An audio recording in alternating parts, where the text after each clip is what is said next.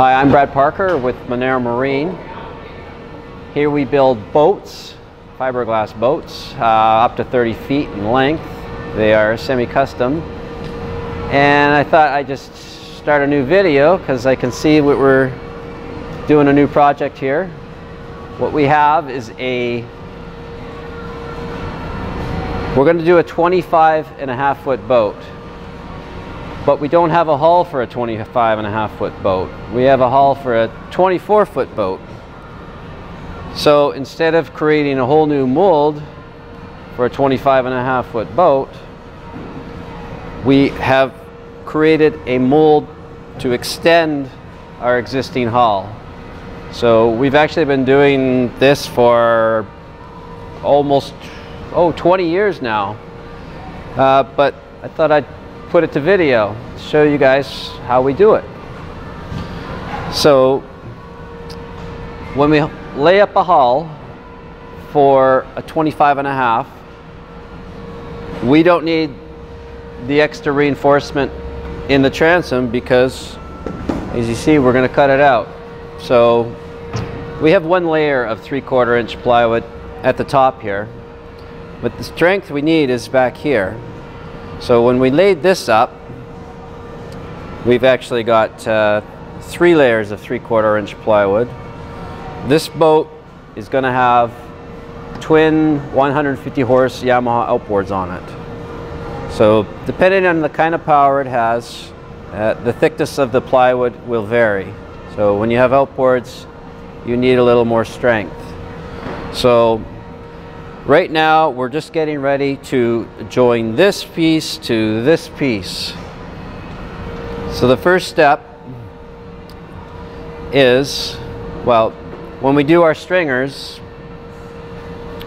you can't see, but uh, uh, when it's rigidly laid up, the stringers go right to the transom. But when we get it here, we chop out the ends of the stringers so they're clear of, of here. You can almost see them through here. You can see the stringers there. Uh, so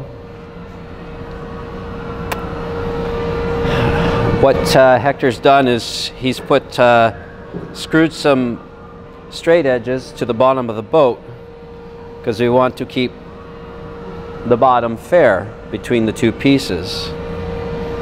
Now how this piece is designed, it has a flange on the end that will actually sit on top in here. So we fit it all nicely and it will get pasted. This flange here is going to get pasted onto here and then glassed all around.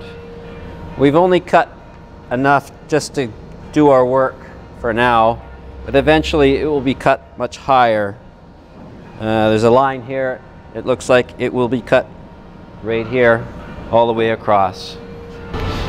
So it's, it's all fit now and he's just cleaning it up, getting ready to mount it permanently. So you can see the, the flange here.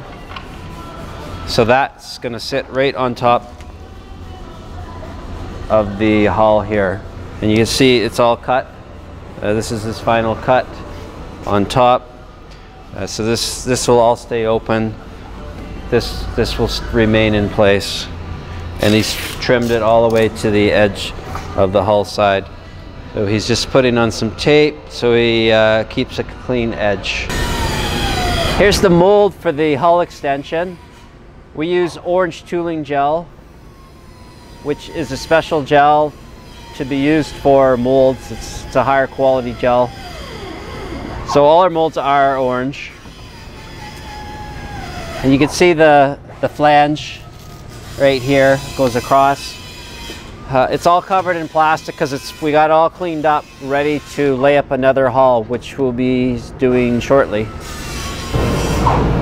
So they got the hull now pasted in place and they're doing their first layer of fiberglass at the joint.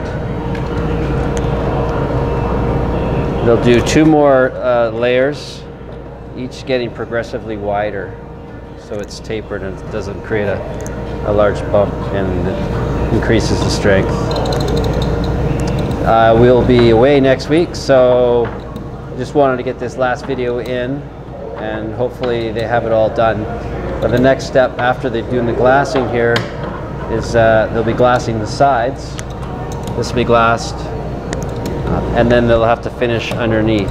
There's a few holes through the bottom from uh, screwing the the straight edge on just to keep the, the hulls lined up and faired nicely. So they'll take that off and they will fill the holes so the boat doesn't sink. And so I was off for a week and they've got most of it done now. So where we left off was uh, it was pasted in place and, and, the, and the first layer was glass.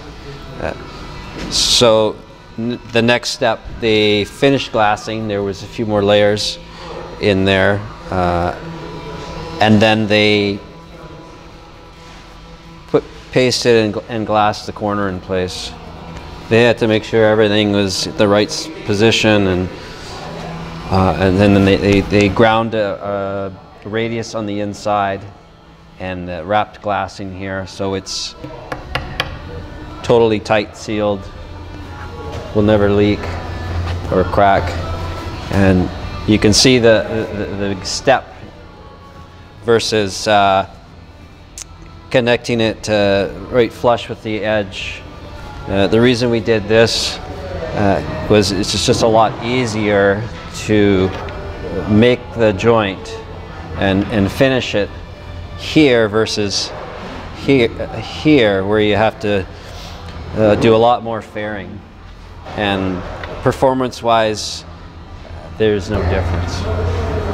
So inside you can see this is the original hull uh, transom and you can see where we've cut it cut it out. And here are the, the uh, stringers that have been extended. So the original stringers ended here.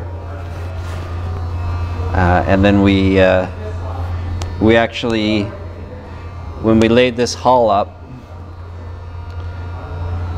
we made them to sit right against this hull.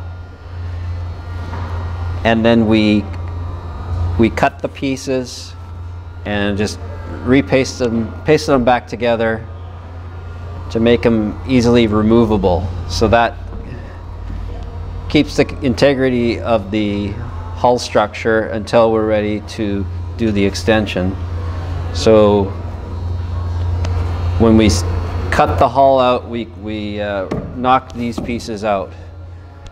Uh, and then, uh, so these are the new pieces that extend all the way to the new transom. So everything is just lined up and uh, pasted. You can see the green paste. Uh, and then they uh, glass them. They tab on each side. And once we're happy with the height, then the whole thing will get uh, capped over with fiberglass. Underneath the hull, you can see the aluminum braces are still in place.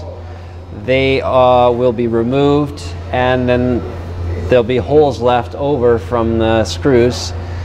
So we just have to make sure we glass over all the, the holes uh, so our boat doesn't sink. Uh, and then uh, the joint underneath will be all faired. We'll glass, we glass the joint and ferret on the outside.